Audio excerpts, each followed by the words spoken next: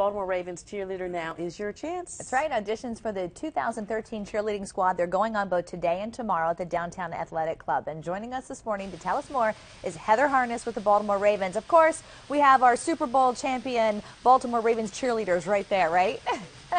of course, world champions right here. Yeah, it sounds great. Tell us how this is going to go today, Heather.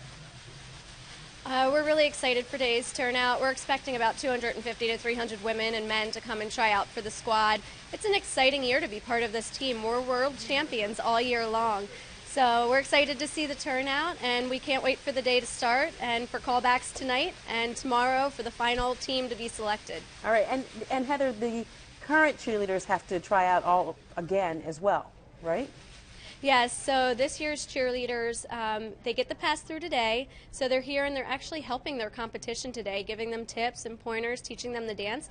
And then tomorrow, they will be trying out right beside the ones who get passed through today. Are you guys getting more interest right now because the Ravens won the Super Bowl? Yeah, after the Super Bowl, the applications started flooding into the office. So it's an exciting year. Everybody wants to be a part of it. Well, Heather, we're going to ask you to be a reporter real quick. Can you just pass it around to a couple of the girls and ask them for us? How exciting is it to be a Ravens cheerleader? Sure. Guys, how excited is it to be a Ravens cheerleader this year? Uh, it's great. I can't wait for the season to get started. Hopefully, I'll be on for my fifth year.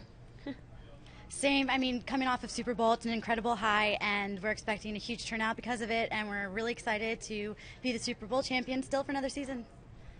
So okay. as you can see, they're Perfect. excited, and I'm sure the new applicants are equally as excited. Okay, Heather, and people will they won't be thrown out there cold. They're going to get some help in learning the steps, right?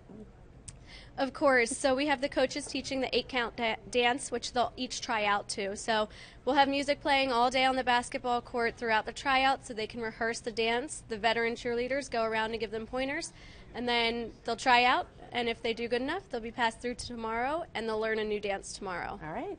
Exciting stuff. Thanks so much. Good luck to everyone trying out today. Thanks, Heather. Thanks so much. Sure.